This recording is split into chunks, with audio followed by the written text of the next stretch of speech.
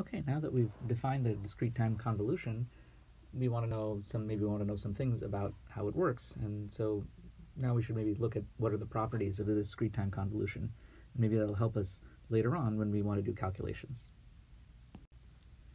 So the goal is to be able to apply properties of the convolution formula, but I guess, you know, maybe we should, we should stick with saying understand first.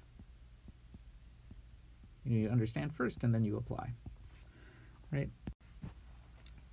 Okay, so here are a couple of facts about the convolution, which we'll go over in the next few slides.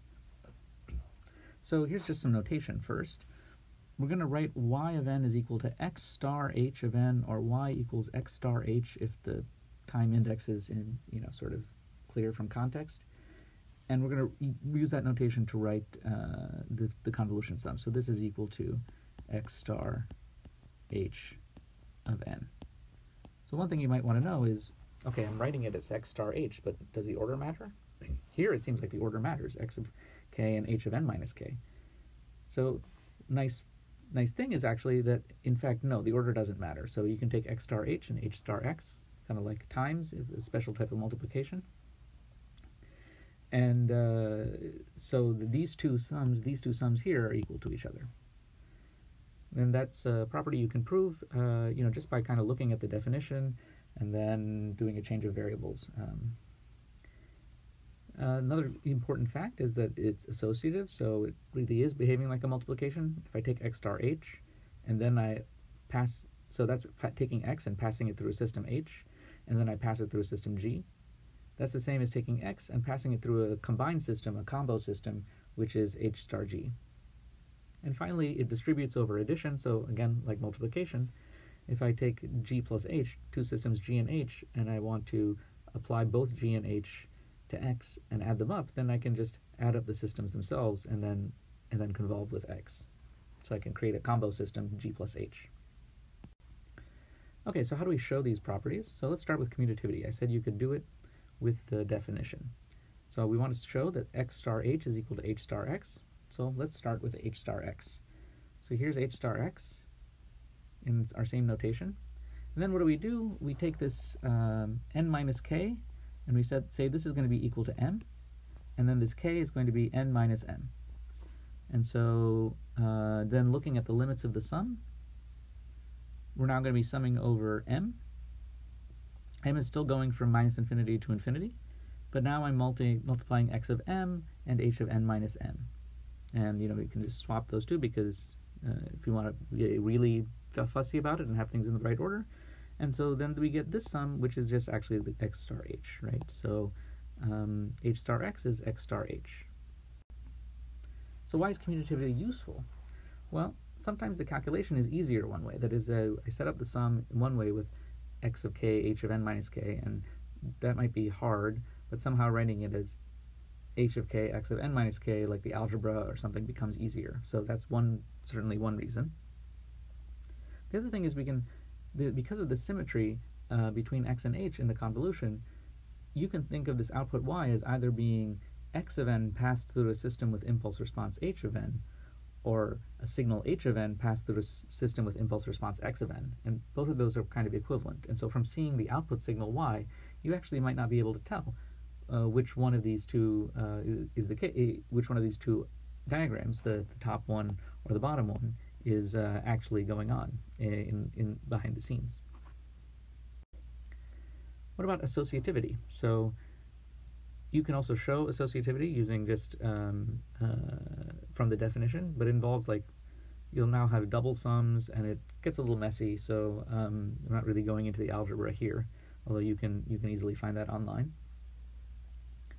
Um, so the idea of associativity is useful because basically it says if I apply h1 and then h2, it's the same as applying this combo system h1 star h2, so h1 convolved with h2.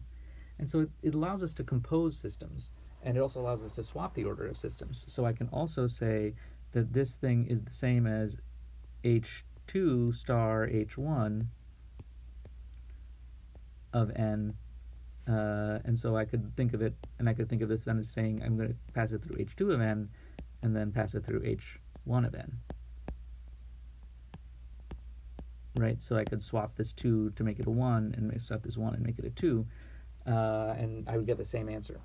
So this is actually pretty useful um, because it says that maybe maybe it's you can build it more cheaply one way or the other. That is, I can build um, I can I can cascade these systems in a way. One in one way, I have to deal with some um, more expensive components to make everything work or not blow up or something like that. And then I could instead I could do it the other way, and it could be cheaper. Okay, what about distributive distributivity? So again, it's kind of this this thing of can I merge systems? Can I understand a big system in terms of smaller pieces? So if I had a system which had impulse response g of n plus h of n, then I can think of it as x being applied to two in parallel to two different systems, g of n and h of n, and then adding them up.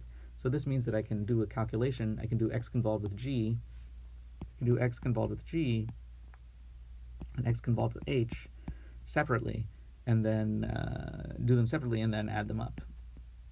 Right. So that's uh, that's sometimes it makes your life easier in terms of algebra, and it also lets you simplify block diagrams to understand kind of the overall input-output behavior. So we want to understand a little bit of language that we use around discrete uh, time LTI systems. So the impulse response is the output of the system when the input is delta of n, the unit impulse function, hence the name impulse response. So everything is in the name, really. It's the impulse response, it's the response of the system to the unit impulse. And as I've said multiple times now, we call LTI systems or the impulse response, uh, or its impulse response, a filter. And if now, we can think of two different types in discrete time. We can think of two different types of filters.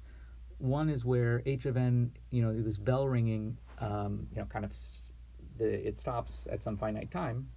So that is h of n has kind of finite length, and that's called a finite impulse response filter.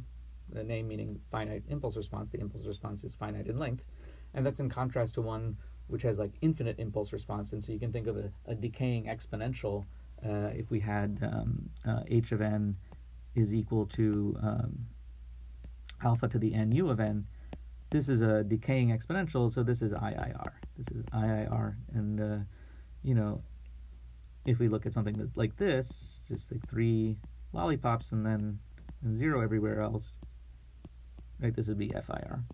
So that's the picture you should have, and you'll see a lot more about this kind of discussion uh, if you take the DSP class.